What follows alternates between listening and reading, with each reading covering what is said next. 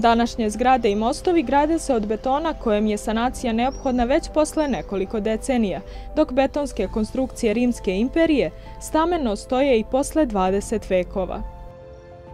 Poznata su velelepna zdanja širom teritorije nekadašnjeg zapadnog rimskog carstva koja fasciniraju svojom dugovečnošću, a takvih građevina ima i kod nas. Teritorija Srbije je ušla sastav rimske države početkom prvog veka nove ere. Rimljani su, kada su došli do Dunava, odlučili da to bude granica njihovog rimskog carstva, da ne šire e, teritoriju sa druge strane. Oni su vremenom izgradili brojne vojne logore duž e, Dunava kako bi tu granicu učvrstili, utvrdili i e, civilne nasilja su se e, razvila uz te vojne logore. Tako da su se i najveći gradovi razvili upravo, na primjer, Singidunom, Viminacijom oko najvećih vojnih logora. Tako da najznačajniji broj e, i najveći broj e, rimskih ostataka nalazi se upravo sa desne obale Dunava.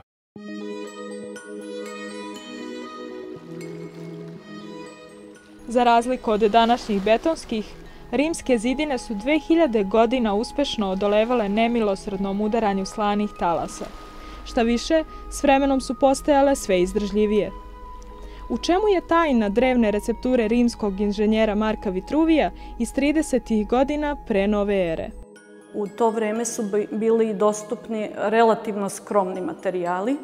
Najčešće je kao vezivo korišćen kreč, Eh, ali su Rimljani bili dovoljno mudri u eh, toj oblasti da su shvatili da ako kreču dodaju neke određene komponente u nekim manjim ili većim eh, primesama, da će dobiti značajno poboljšanje i u mehaničkim i u fizičkim svojstvima. Pa su tako došli do, i do otkrića pucolanskih materijala i do otkrića polimera, s tim što su oni koristili naravno prirodne polimerne materijale kao što je kazein iz mleka. U Italiji su u ostalom i sagradili monumentalne objekte zahvaljujući e, upotrebi tog vulkanskog pepela. U rimskom periodu e, je upotreba materijala e, zavisila od teritorije na koje su građevine nastajale. E, nešto što možemo nazvati pravilom je da je upotrebljavam onaj materijal koji je bio dostupan, znači lokalno dostupan na tom terenu. E, upravo zbog toga e, na uzorcima koje mi istražujemo, a koji su vezani za teritoriju Srbije i za teritoriju uz Dunav, nailazimo na eh, upotrebu onih sirovina koje se nalaze na toj teritoriji. Eh, Ovde možemo da vidimo eh, nekoliko uzoraka koji predstavljaju uzorke Maltera sa lokaliteta Trajanov most, grobnice u Brestoviku i lokaliteta Svetinja koji se nalaze na Viminacijumu. Lokaliteti koji smo istražili e, datiraju od 1. do 6. veka. Interesantno je pogledati Trajanov most, pošto ovdje imamo i uzorak opeke, osim samih uzoraka Maltera. E, što se tiče materijala koji su potrebljavani, kao i svuda, to su bili kamen, opeka, krečni malter naravno. U e, Srbiji, odnosno teritoriji današnje Srbije u rimskom periodu, taj krečni malter koji je zajedno sa velikim komadima kamena i odnosno agregatom pravio nešto što se zvalo rimski beton. E, nije imao iste karakteristike kao onaj krečni malter e, na, e, u drugim teritorijama carstva, posebno na Peninskom poluostrvu. Naučnici su otkrili da je morska voda otopila komponente vulkanskog pepela, dopuštajući rast novih vezivnih minerala. Tokom jedne decenije u betonu se formirao veoma redak hidrotermalni mineral nazvan aluminium tobermorit, koji rimskom betonu daje čvrstoću. Kada kažemo rimski beton, uglavnom mislimo na taj beton koji nalazimo u velikim monumentalnim građevinama u Rimu. To je, neki materi, to je jedan materijal koji kod nas ne postoji u takvom obliku. Mi nismo imali te prirodne materijale e, sa pucolanskim svojstvima koji su mogli da pomognu malteru da dobije svojstva čvrstoće i vezivanja pod vodom. Kod nas su ti malteri bili mnogo slabiji. Ljudi su verovatno na različite načine pokušavali da dostignu tu čvrstoću. Kod nas postoji jedino taj Trajanov most e, na kome možemo očekivati verovatno i upotrebu nekog od tih materijala koji nisu bili dostupni verovatno u Srbiji. Opeka kao e, materijal je dosta proizvođen e, u Srbiji. Na teritoriji Viminacijuma je bio veliki proizvodni centar. Ta opeka se distribuirala duž Dunava u raznim mestima. E, po raznim mestima na Limesu, tako da se danas na iskopavanju može pronaći puno opeka koje imaju pečate e, viminacijumskih legija. E, ta opeka je isto važna za malter zato što je ona kao drobljena i mlevena korišćena kao dodatak malteru. Ona je imala slična svojstva kao prirodni materijali sa pucolanskim svojstvima, ali ne takva da bi dobili taj rimski beton o kome se piše u literaturi. I sama izrada zidova je bila malo drugačija. Kod nas se to jezgro zida, koje možemo nazvati rimski beton u, u Italiji, zove trpanac. I to je jedan izraz koji figurira kroz arheološku literaturu. To je isto jedna smesa krupnog agregata i krečnog maltera, ali sa jednostavno drugačijim karakteristikama nego rimski beton. Rimski spomenici postoje vekovima. Zbog vremenskog trajanja i mnogobrojnih istorijskih razaranja, neophodna im je restauracija.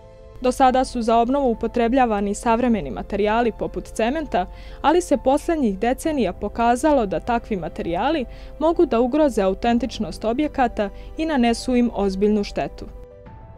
Nekoliko naših naučnika odlučilo je da ispita sastav maltera koji su pronašli na rimskim lokalitetima, te da ga upotrebe za konzervaciju antičkog nasljeđa Srbije.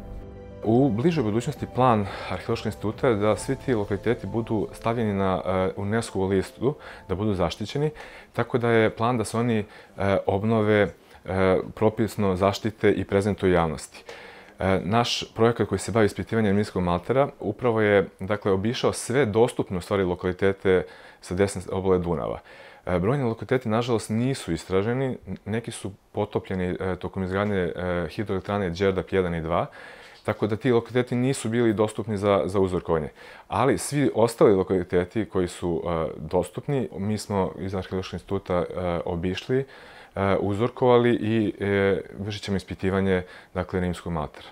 Analizom smo došli do uh, približnog sastava maltera koji su oni koristili. Na osnovu tih analiza se odlučujemo i na, naravno na osnovu poznavanja i materijala raspoloživih danas, uh, se odlučujemo za odnos različitih komponenti u novim materijalima koje pripremamo. E, cilj je da novi materijal bude što približnijeg sastava starom rimskom alteru, e, da bude sličnih mehaničkih svojstava i fizičkih u ostalom, da ne bi došlo do razaranja starog i uništavanja u većoj meri. Pravimo ga u stvari zato što uh, je veoma važno da ti malteri koji služe za konzervaciju uh, budu odgovarajući u konzervaciji, znači da budu kompatibilni sa starim. Oni ne smiju narušiti ni estetski, ni eh, na bilo koji drugi način vezano za hemiju, za kompoziciju, sastav maltera.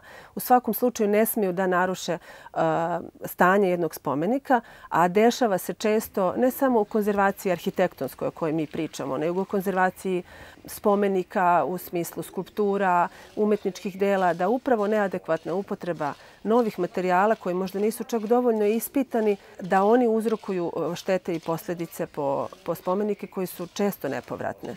Tako da smo mi gledajući iskustva iz inostranstva, a i iz Srbije i kroz razgovore za konzervat, sa konzervatorima shvatili da je potrebna dublja analiza, a posebno u Srbiji koja obiluje spomenicima iz raznih perioda i kojima, eto, nadamo se da će da ćemo pomoći našim istraživanjima i jednom velikom bazom podataka koja će biti puna naših istraživanja, pomoći konzervatorima da jednostavno probaju to na svom spomeniku i sa dobrim majstorima izvedu prave radove i osiguraju život spomeniku. Nama je veoma važno da zabeležimo lokalne zajednice koji dan danas čuvaju neku tradicionalnu proizvodnju materijala. U smislu proizvodnje opeke, proizvodnje kreča, toga je sve manje u Srbiji i u svetu naravno. Oni teško svoje proizvode prodaju.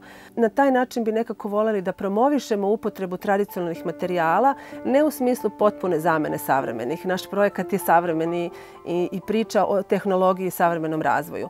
Ali bez zanemarivanja znači, e, tradicionalnih materijala kako bi i lokalne zajednice e, imale neki benefit od, e, od našeg istraživanja. Stručnjaci okupljeni oko ovog projekta veruju da će svojim radom doprineti razvoju novih industrijskih rešenja, ali i da će podstaći građevinarstvo zasnovano na upotrebi lokalnih sirovina i tradicionalnih graditeljskih veština. Oni smatraju da će na taj način dati novi sjaj spomenicima od velikog istorijskog značaja.